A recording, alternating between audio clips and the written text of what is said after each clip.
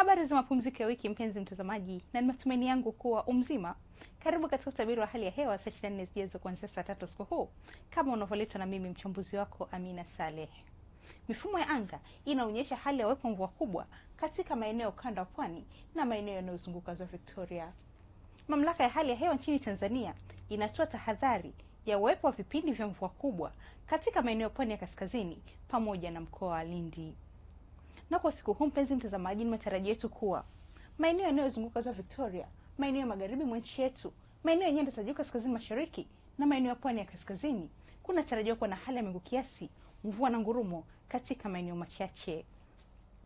Maeneo ya pwani ya kusini yanatarajiwa kuwa na hali ya mawingu kiasi na mvua katika maeneo machache, na maeneo mengine ya nchi yaliyosalia yanatarajiwa kuwa makavu yenye mawingu kiasi. Na kwa siku ya kesho, ni matarajio yetu kuwa maeneo ya pwani ya kaskazini pamoja na mkoa wa Lindi kunatarajiwa kuwa na hali ya mawingu, mvua na ngurumo na vipindi fupi vya jua kwa maeneo mengi. Maeneo ya nyanda za juu kaskazini mashariki yanatarajiwa kuwa na hali ya mawingu, mvua na ngurumo na vipindi fupi vya jua kwa baadhi ya maeneo. Maeneo yanayozunguka ziwa Victoria, maeneo ya magharibi mwa nchi yetu na maeneo ya kusini mwa nchi yetu kunatarajiwa kuwa na hali ya mawingu kiasi, mvua na ngurumo na vipindi vya jua katika maeneo machache. Maeneo ya kati mwa nchi yetu, maeneo ya nyanda za juu kusini magharibi na maeneo ya mkoa wa Ruvuma kunatarajiwa kuwa na hali ya mawingu kiasi, mvua na vipindi vya jua katika maeneo machache. Kwa kumalizia utabiri wetu wa hali ya hewa, tuangalie utabiri wa siku nne zijazo.